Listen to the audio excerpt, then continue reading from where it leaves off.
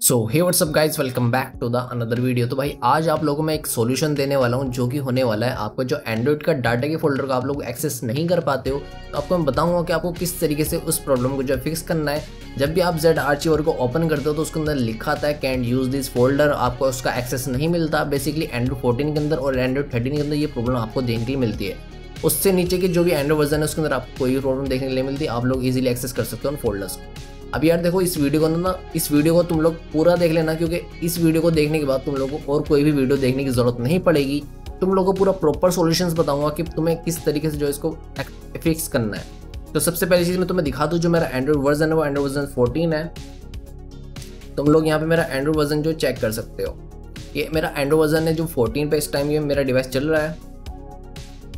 अब उसके बाद मैं तुम्हें ये भी दिखाता हूँ, मैं अगर इसमें जेड आर्चिवर को ओपन करता हूँ एंड्रॉइड में जाता हूँ डाटा में जाता हूँ, किसी फोल्डर को ओपन करता हूँ तो यहाँ पे ये लिखा था कैंट यूज़ दिस फोल्डर अब तुम बेसिकली यहाँ पे दो एप्लीकेशन की ज़रूरत पड़ेगी, जिसमें से एक होने वाली है जेड आर्चिवर प्रो और जो जो सेकंड एप्लीकेशन होने वाली है, वो होने वाली है अब ये दोनों एप्लीकेशन आपको जो प्ले स्टोर के ऊपर इजीली मिल जाएँगी तो आप लोग इजीली वहाँ से आगे इनको डाउनलोड कर सकते हो और आपको डिस्क्रिप्शन के अंदर भी जो लिंक देखने मिल जाएगा, आप लोग वो वहाँ से भी इजीली इनको डाउनलोड कर सकते हो। तो आपको सबसे पहली चीज़ क्या करनी है, आपको शीजू को ऐप को जो है ओपन करना है।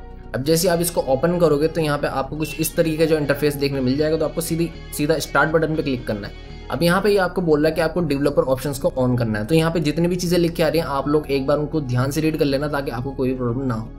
तो आपको सबसे पहले जाना है डेवलपर ऑप्शन में। अब जैसे मैं इस पर डेवलपर ऑप्शन पे क्लिक करता हूँ तो यहाँ पर जो है ना, मेरे पास ऑप्शन आ जाता है इसको ऑन करने का। लेकिन अगर आपके पास ये ऑप्शन नहीं आता है ना तो आपको उसको कैंसिल करना है, आपको जाना सेटिंग्स में। तो आप लोग जो है ना, अपने डिवाइस की सेटिंग्स में जाना अबाउट डिवाइस में जाना, यहाँ पे आप वर्जन में जाना। यहाँ पे आपको वर्जन नंबर देखने मिलेगा। बेसिकली ज़्यादा जो बिल्ड नंबर के ऊपर लिखा आता है, अब इसके अंदर एंड फोर्टीन के अंदर, मेरे डिवाइस के अंदर वर्जन नंबर पर जैसे आप बार बार टैप करोगे तो यहाँ पर आपका जो स्क्रीन लॉक है, वो मांगेगा। जैसे आप उसका पासवर्ड डाल दोगे ना पासवर्ड डालने के बाद जो आपको डेवलपर ऑप्शन है वो इजीली ऑन हो जाएगा। तो बेसिकली ये आपको मैंने दोनों तरीके बता दिए किस तरीके से आप डेवलपर ऑप्शन को ऑन कर सकते हो। तो जैसे आपका डेवलपर ऑप्शन ऑन हो जाएगा, आपको जाना एडिशनल सेटिंग्स में। यहाँ पे आपका डेवलपर ऑप्शन जो है ऑन हो चुका है। अब यहाँ पे आपको जो दो चीज़ों का ध्यान रखना है।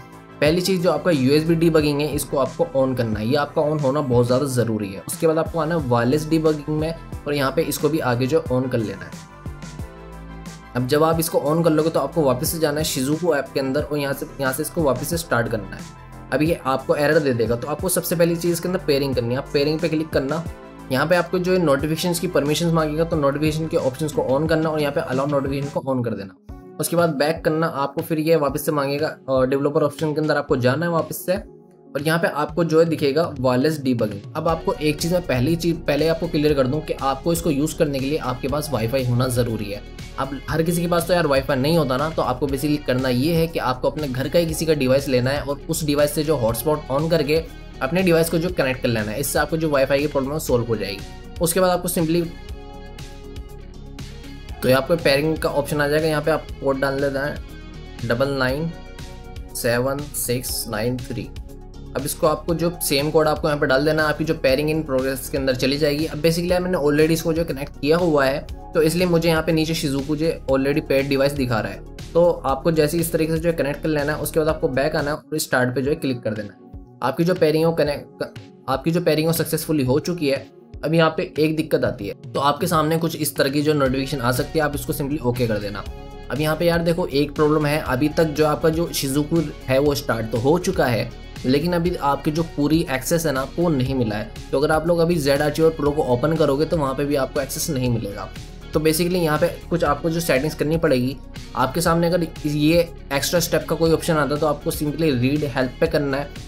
और उसके बाद आपके सामने ये सारे ऑप्शन आ जाएँगे। तो यहाँ पर आप अपना डिवाइस देख सकते हो, कौन से ब्रांड का है शाओमी का है, या फिर ओप्पो का है वन प्लस का है, इसके अंदर जो तीन चार डिवाइस के अंदर आपको इसके अंदर देखने मिल जाएँगे।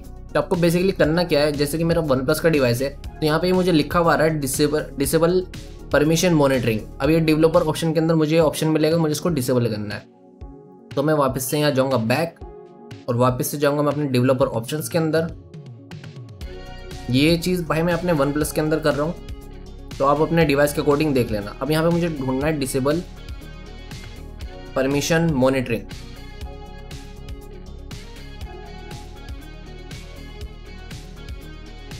तो ये रहा वो ऑप्शन डिसेबल परमिशन मॉनिटरिंग जैसे मैं इसको ऑन कर दूँगा और वापस से आता हूँ मैं अपने शिजू ऐप के अंदर।